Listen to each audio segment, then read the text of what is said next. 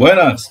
Nessa sessão a gente vai continuar com a série Cheat Sheet, ou seja, com aqueles resumos de, de fórmulas uh, que estão lá no, no blog, no incrédulofinanceiro.com, e dessa vez são com as opções. Então vamos lá percorrer a Cheat Sheet.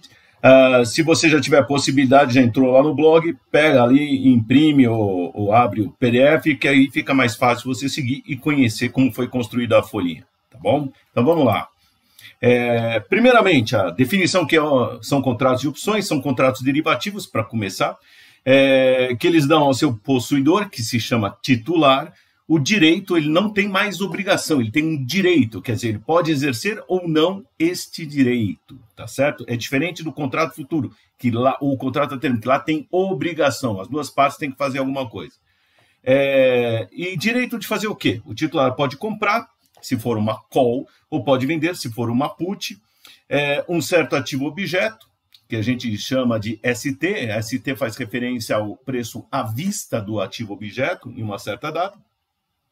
E ele pode exercer esse direito é, em certa data ou até certa data, e aí é o estilo da opção. É, Para exercer esse direito, ele vai ter que pagar é, esse direito de comprar ou vender, ele vai ter que pagar um preço de exercício, então ele já fixa um preço que ele vai comprar ou vender desde o início. Seria similar ao preço futuro isso daqui, tá ok? Não é, não é formado igual. Atenção, o preço de exercício é uma cláusula negociada entre as partes, tá ok? Então você pode colocar o preço de exercício que der na telha. Então, o que você quiser imaginar aqui de preço de exercício está valendo. Preço futuro, não. Ele tem uma regra de arbitragem para ser formado. É, então, ele pode comprar o, ou vender o ativo em uma determinada data, é, e esse preço é negociado no começo. Muito bom. Em finanças, direitos têm valor. Então, o titular, já que está adquirindo um direito, ele tem que pagar um prêmio é, ou que a gente chama também de preço ou valor da opção, e ele paga para quem? Para quem está vendendo a opção. E o vendedor se chama lançador. É, aliás, é muito comum se usar o termo se escrever uma opção. Então, o, o lançador escreve uma opção, tá? Porque é um contrato. Então, ele escreve ó, o que, que eu estou vendendo para você titular. As opções são do estilo, normalmente, é, europeia ou americana. Europeia quer dizer que só pode exercer na data de vencimento e a americana pode exercer até a data de vencimento. Existem também outros tipos de opções, existem centenas, milhares de tipos de opções, que são as exóticas, onde que elas fazem? Elas mudam uma determinada característica do que seriam essas opções tradicionais, ou também o termo que se usa muito é vanilla, vanilla de baunilha, quer dizer, baunilha quer dizer é aquela coisa meio assim, sem gosto, é, não tem nada de diferente, tá? Nada de anormal é, ou exótico. É, na B3 se chama também esse tipo de opção exótica de flexível. Então, e aí você tem uma série de opções exóticas aí que são estão aí no mercado, opções asiáticas onde o ativo objeto não é o preço, mas é uma média é, histórica é, muito usado na área de câmbio, opções de barreira, onde a, a opção morre ou fica ativa se ela bater na barreira, e aí vai, não falta criatividade aí. É, opções do estilo bermuda, que ao invés de. A europeia só pode exercer no vencimento, a americana a qualquer momento. A bermuda é em determinadas datas pré-especificadas. E aí vai. É, mesmo as asiáticas, onde o objeto é uma média, você pode definir diferentes formas de cálculo de média. Então, veja assim, média geométrica, média aritmética, média ponderada, é, período de 30 dias, período de 15 dias, período de 6 meses. Então, é, aqui, ó, dentro de cada tipo de opção exótica, pode ter ainda outras ramificações. Muito bom, aqui a gente tem os, o, as fórmulas dos payoffs, ou seja, o desembolso, tendo payoff é o desembolso da opção, e do lucro. Qual que é a diferença entre o payoff e o lucro? O payoff ele só olha o desembolso ou o exercício da opção na data de vencimento. Então, na opção, o que, que acontece? Você titular, e o foco é no titular, porque é ele que tem direito e ele que exerce. O lançador ele vai ser exercido pelo titular. Tá certo? Então, sempre eu recomendo pensar como o titular. O lançador é, é a posição oposta. Em derivativos não tem criação de valor. Se um ganha 5, um perde 5. Se um perde 10, o outro ganha 10. E é sempre assim. É um jogo de soma zero. É, então, aqui, pensa como titular. Nada, o payoff, o desembolso, está olhando somente na data de vencimento. Então, olha, se o titular exercer, ele recebe. E quando ele vai exercer? Ele vai exercer quando o preço do ativo for maior que o preço de exercício, porque aí ele vai comprar por X algo que vale mais do que X. Ele ganha. Se isso não for verdade, esse, esse pedaço é negativo, então ele vai não exercer. Por isso a função máximo aqui. Sempre o máximo entre os dois valores, e esses valores vão, defender, vão depender de quanto que é o preço do ativo objeto na data de vencimento. E sempre você compara esse preço do ativo objeto contra o preço de exercício. A função de lucro, qual que é a diferença? É que nela a gente coloca aqui o prêmio que foi pago pela opção. Lembra, no começo o titular tem que pagar o prêmio para aí valer a opção. Tá ok? Então, a diferença entre o payoff e o lucro é que aqui a gente está colocando também como variável o prêmio que foi pago inicialmente.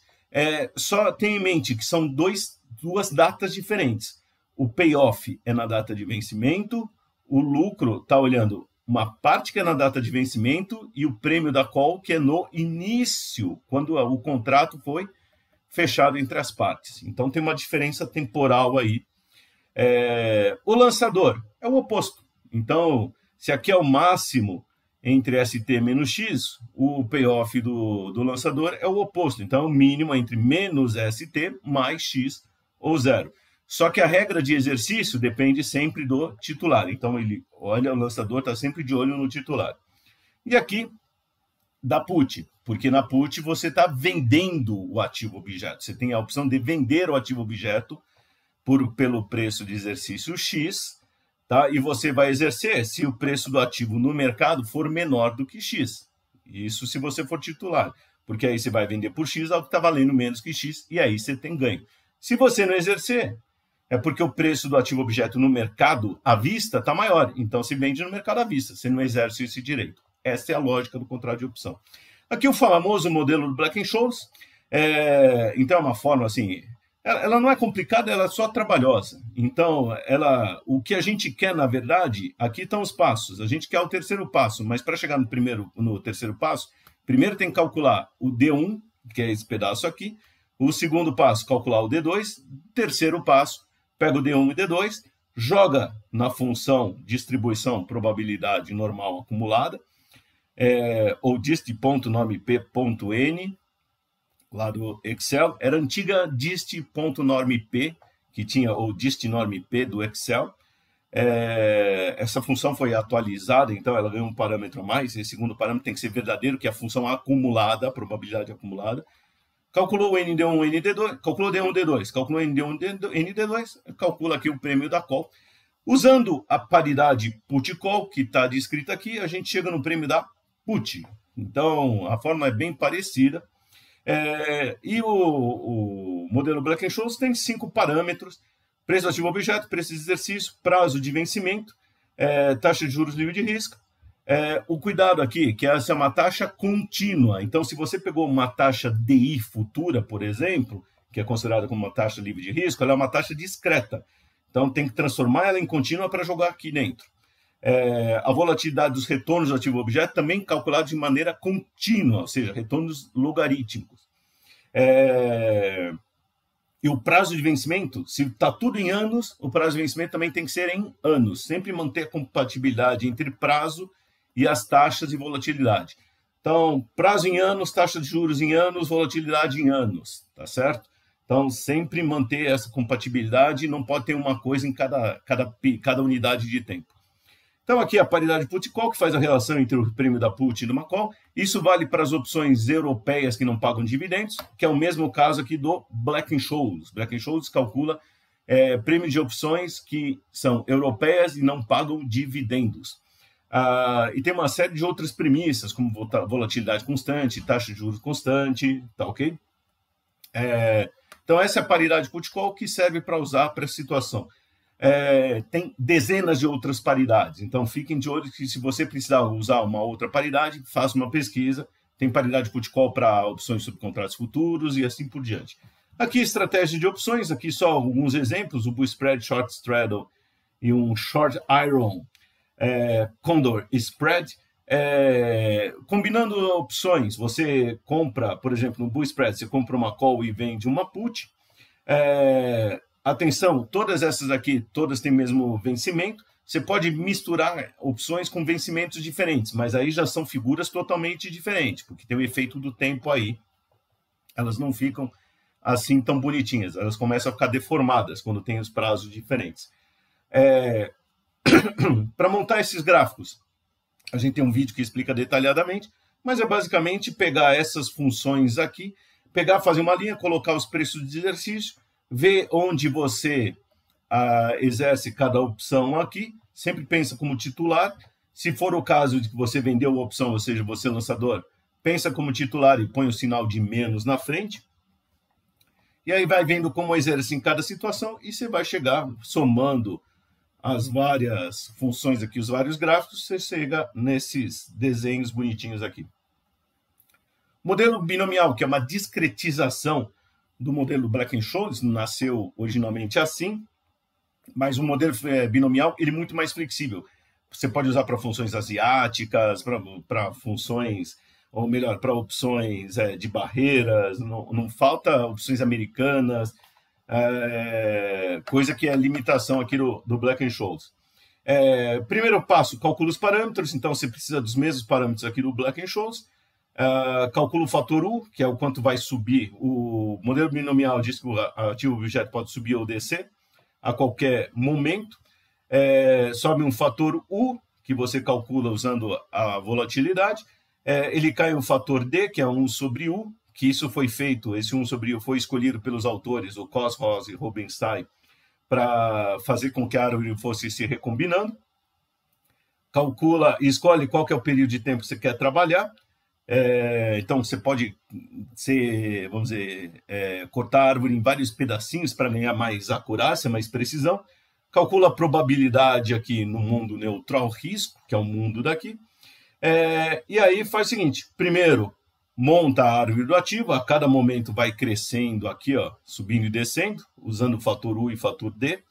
É, e aí começa daqui do S0 vai projetando e para resolver começa do final. Então, cada nó final, você vai resolvendo as opções, usando justamente essas fórmulas aqui, se exerce ou não, e vai trazendo a valor presente para cada nó. Como você vai trazendo a valor presente? Pega o resultado de cada opção aqui, pondera pela probabilidade de neutro risco e divide pela taxa de juros livre de risco aqui, E elevado a E vezes R delta T, ou 1 mais R é, elevado a delta T. Ah, como calcular a volatilidade? Aí você são retornos, pode pegar, por exemplo, retorno diário, então pega aqui, ah, pega a série de dados, calcula o logaritmo dos, é, dos preços do ativo objeto e tira o desvio padrão desse daqui. É, aqui, se, se a volatilidade, você usou dados diários, depois você pode transformar para volatilidade anual. Como? Multiplica por raiz de 252, tá certo? Então, por quê? Porque tem 252 dias úteis no ano. É, e aqui, só para a gente fechar, a, o modelo do Black Scholes adaptado para a, opções cambiais. Então, é, o modelo é similar, só que aqui tem um outro fator, um fator Qzinho, que seria a taxa do cupom cambial. É, porque até no vídeo de contratos futuros a gente fala disso, dos, dos futuros cambiais, que você tem, quando você vai fazer operar com câmbio, você tem duas taxas, a taxa de juros no Brasil e a taxa de juros nos Estados Unidos. Então, isso falando do real frente ao dólar. É, então, a fórmula é praticamente a mesma, só que tem esse fator Q aqui que seria que é seria não, que é a taxa do cupom cambial também transformada para taxa contínua. Por isso que ela tem esse jeitinho mais enroladinho aqui. E tem uma convenção diferente. O cupom cambial está em dias corridos e o enquanto a taxa de I está em dias úteis. Então tem que fazer essa transformação.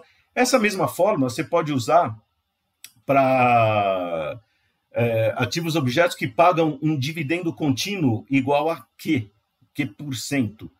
Então, que é a mesma história, tá ok? O mesmo tipo de comportamento. Então, comprar o câmbio é como se comprasse uma coisa aqui, mas que você pode ter ganhos, pode pegar o dólar e investir lá fora e você tem um rendimentozinho. É como se fosse um ativo que você compra aqui e ele paga um dividendo contínuo igual a quê? Então, a fórmula serve para as duas coisas. E aqui a put cambial. E só aqui, rapidamente, as várias gregas é, a delta, gama, vega, rho, teta, que são usadas justamente para ver o, o comportamento das opções conforme o preço do ativo objeto e os outros parâmetros vão se alterando. Tá bom? Muito bom, pessoal. Essa foi a nossa cheat sheet de opções. Tem muita coisa para falar de opções. É, dá uma olhadinha lá, pratica, porque é um mundo assim bastante interessante e vale a pena conhecer e se informar mais, tá bom? Até mais!